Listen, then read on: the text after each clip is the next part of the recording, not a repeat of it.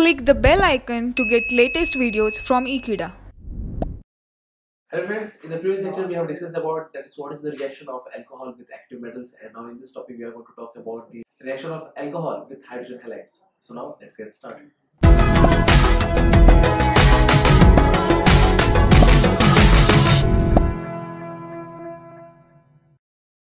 So talking about the reaction of alcohol with hydrogen halides, we are going to talk about that what is the reaction of alcohol with hydrogen bromide, hydrogen iodide, or we could say that is hydrogen chloride. So this is all we are going to talk about here in this topic. So now let's start with the first one. That is what is the action of alcohol with hydrogen chloride. So to talk about the reaction of an alcohol with hydrogen chloride, suppose if I'm mentioning the reaction, the general reaction that is if I'm considering that is ROH as an alcohol and suppose if I have to react it with hydrogen chloride that's HCl. But it has been found that the reaction is not very much easy compared to that of the reaction of HBr with alcohol. Obviously, we have to use certain kind of catalyst, and that catalyst is nothing but anhydrous ZnCl2, which is nothing but it is acting like a Lewis acid. So the combination of anhydrous ZnCl2 along with that of HCl is basically known as Lucas reagent, and for that we have to provide a certain temperature also. Suppose if it is a primary alcohol, obviously we have to use anhydrous ZnCl2 and obviously the product that we could get because of the substitution reaction that we could get that is RCl that is an alkyl along with that of that is H2. So this was the general reaction of the alcohol with hydrogen chloride. So now let us come back to the main example related to this one. For example, suppose if we have considered that is CH3OH that is methanol and suppose if we are reacting with HCl and that also obviously we have to use that as anhydrous ZnCl2 and anhydrous ZnCl2 along with that of the HCl is basically known as Lucas reagent as I mentioned earlier. So now the product that we could get is basically CH3Cl along with that of that is H2 as a byproduct. So here we have to provide that is temperature that is higher temperature then only the product that is alkyl halide will be obtained. But what happens if we consider a secondary alcohol? So now let me talk about that also. Suppose for example that is if we are considering the secondary alcohol that is CH3CH CH3OH and suppose if I am reacting it with HCl. So in this case also basically we have to use anhydrous ZnCl2. The thing is we don't have to provide high temperature even this kind of reaction it can be feasible at room temperature only. And in that case basically we could get that is CH3 CH CH3 and here it will be basically Cl along with that of H2.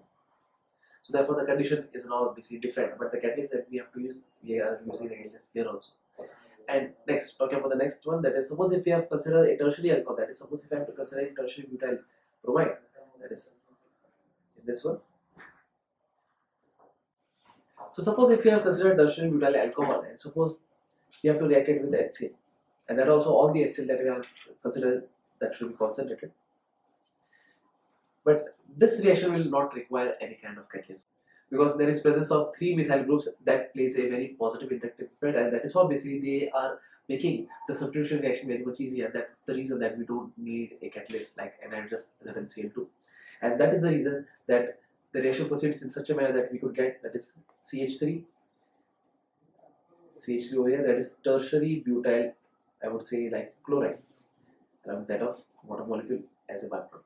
So this was the reaction of alcohol with hydrogen chloride. And now let us move on to the next one. So now we are talking about the reaction of an alcohol that is ROH with hydrogen bromide that is HBr.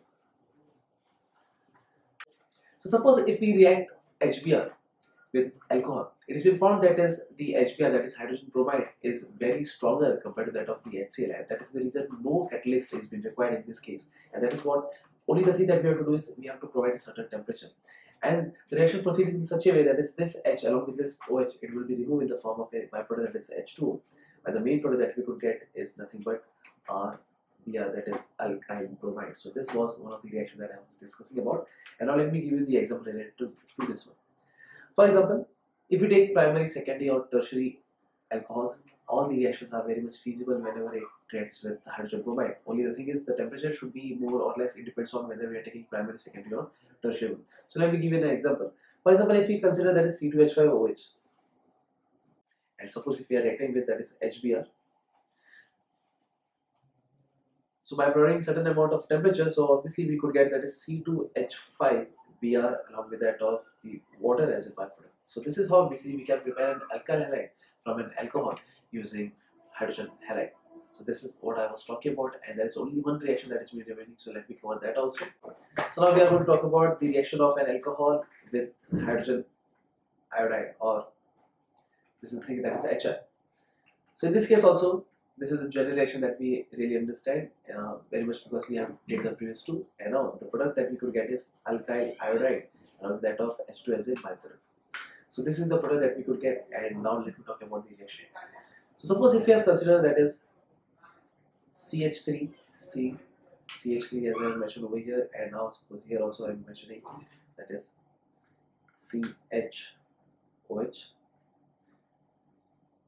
CH3.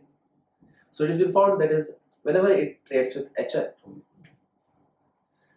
so the following product that we could get over here is that is CH3, C, CH3, CH2, CH3, this is I along with that of H2. So this is a special reaction that I want to talk about. So let me explain here that is, if you'll observe here that is the OH is on this carbon atom. So therefore the substitution reaction should take place on this carbon atom only. But the product that we could get, we get a iodide over here that is which is attached to a tertiary carbon atom. The reason behind that is the formation of tertiary alkyl iodide is more compared to that of the secondary one and that's the reason that we could get this kind of product. So this was nothing but the reaction of alcohol with hydrogen halide. So that is what I want to explain in this topic. So thank you friends for watching this video. I hope you have understood this video very clearly and I hope I will see you next time. Till then, don't forget to subscribe to the channel. Thank you so much.